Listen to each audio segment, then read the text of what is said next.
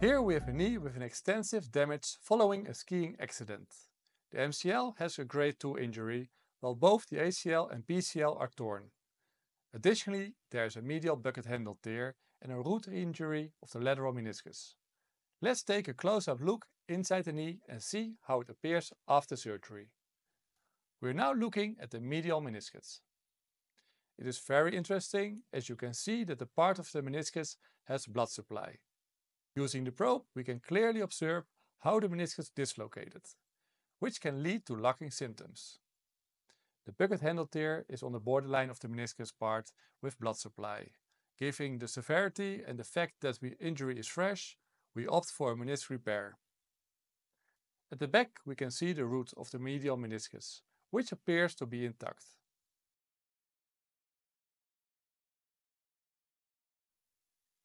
Now let's move on. In this part, what are we missing here? Who knows? Yes, it's the ACL. Normally the ACL is located in the center and the torn ACL fibers they already has been removed. And now we go to the lateral meniscus and we see the partial root injury at the back.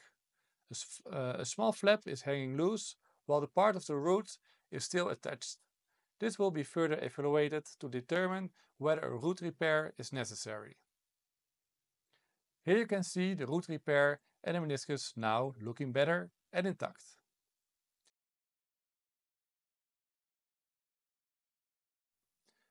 The RIA protocol for root repair involves 6 weeks of non-weight bearing mobilizations with a maximum of 90 degrees of knee flexion.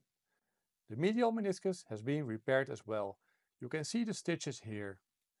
The rear protocol for this involves 6 weeks of limit weight bearing 50% and a maximum of 90 degrees of flexion. However, since the root repair takes priority over the meniscus repair, the patient will remain non-weight bearing for the first 6 weeks with a flexion limit of 90 degrees. Now, who can tell me why the knee should not be bent beyond the 90 degrees? Let me know in the comments and don't forget of course to subscribe. Bye bye!